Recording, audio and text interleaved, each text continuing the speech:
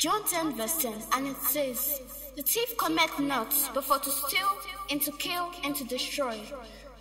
But Jesus has come that he might give life, and that he might give it more abundantly.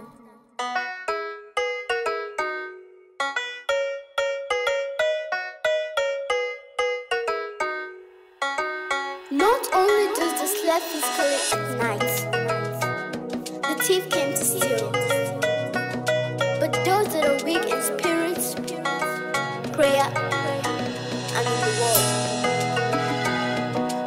The.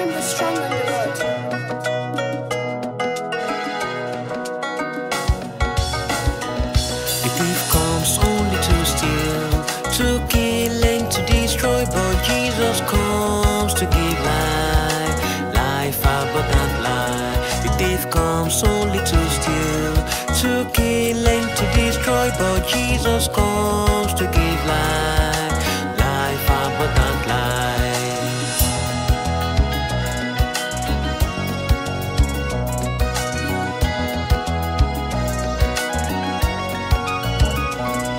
our home, there is no peace, no more love, no more joy. The children say, parents are the cause. The parents say, children are the cause. No one knows who is the thief that has stolen the peace away.